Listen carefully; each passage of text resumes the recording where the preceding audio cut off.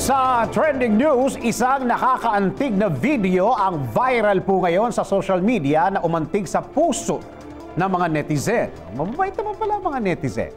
Kung saan bida rito ang isang matandang tricycle driver at batang inaalagaan nito. Kaya naman, it deserves to be uh, recognized. Ano ang kanyang ginawa? Narito po, panoorin po natin trending report ni RH44 Vien Dacles.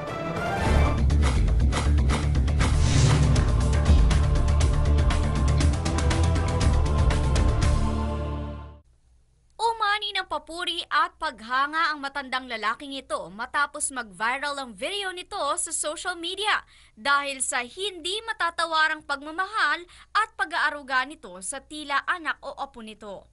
Kuha ang nasabing video ng isang Laika, naging pasahero ng tricycle ng naturang matanda na anya ay ang natatanging tricycle na pumayag na maihatid siya sa kanyang pupuntahan mula sa Gaisano patungong Banyadero na malayo umano ayon sa mga tumanggi sa kanya.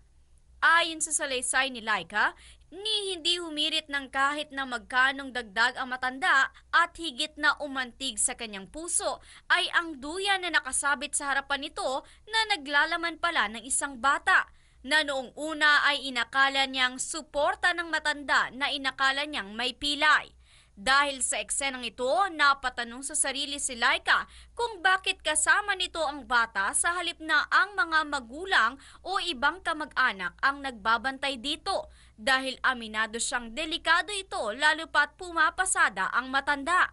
Gayunpaman, naniniwala siyang walang masamang intensyon ang matanda kundi ang maalagaan ng bata.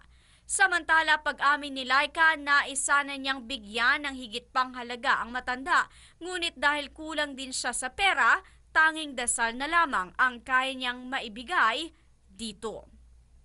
Para sa MBC Network News, RH44, Vien Dacles, naglilingkod sa pagbabalita.